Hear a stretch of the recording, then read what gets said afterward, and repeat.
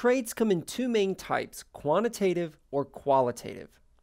Quantitative traits vary continuously over a range of measurements and display in statistics what we call a normal distribution or bell curve.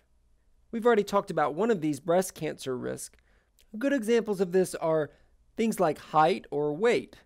You can see that measurements for height vary continuously over a range, and that we have an average height, but there's a spectrum for all other possible heights.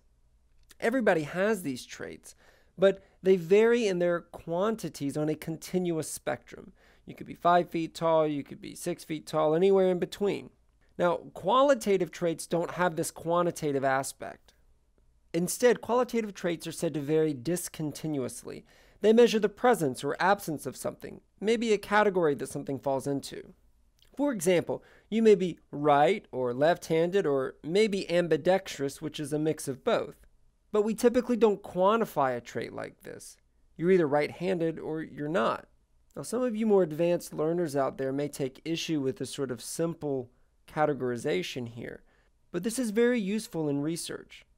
Being able to categorize traits as quantitative or qualitative and then measure them accordingly allows us to plan and carry out research that can correlate with various outcomes. So let's look at the polygenic trait of eye color. Polygenic, remember, meaning that it's influenced by multiple genes. Suppose we classify everyone based on whether they have brown eye color, green eye color, or blue eye color. Would this be an example of a quantitative or qualitative trait?